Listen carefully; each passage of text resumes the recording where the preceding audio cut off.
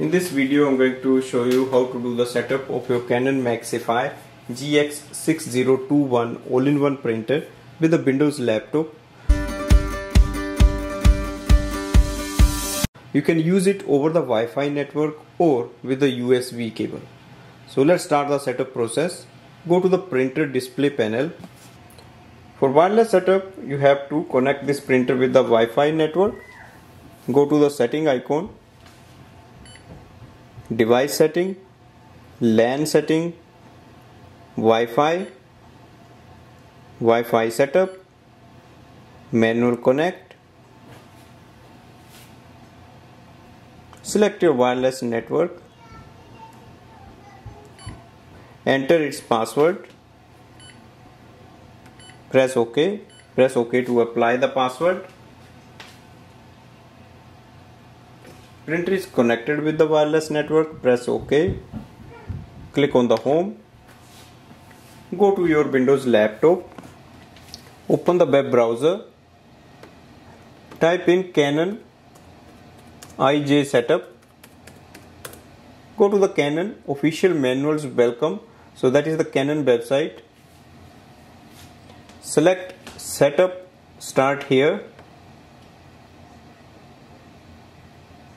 type in your printer model number GX6021 go. Click on the start. Select the second option. Connect to a computer or smartphone. Click on the download. Open file yes. Start setup. Next. Click yes. Agree with terms and conditions. If you want to use the USB connection then you can just connect your printer and laptop with the USB you can click on the no on the next screen it will display what kind of connection you want to use. If you want to use Wi-Fi select it. For wired LAN connection use this section. For USB connection select USB connection and connect your printer and laptop using the USB cable. Once you are ready click next. Next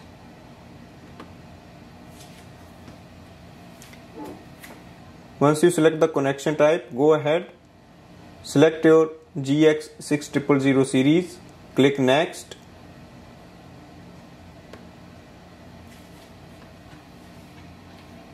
Printer is installed. Click on the test print. OK. Print is successfully installed.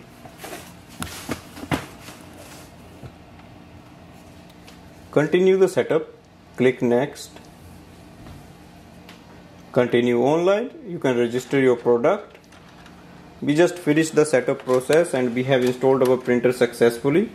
For scanning you can just place a page on the ADF tray and start the scanning process. You can also use the scanner bed.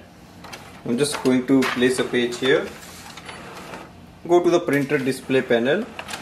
Click on the scan. Scan to PC if you are using a USB cable with your laptop click on the local USB otherwise you can just select the name of your laptop. It will display if you want to change any settings you can do from here. Once you are ready click on the color or black scan button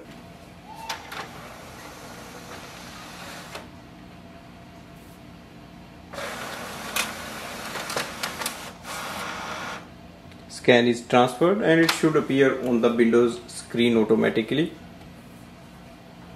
That's the complete setup of your printer with your Windows laptop. Thanks for watching.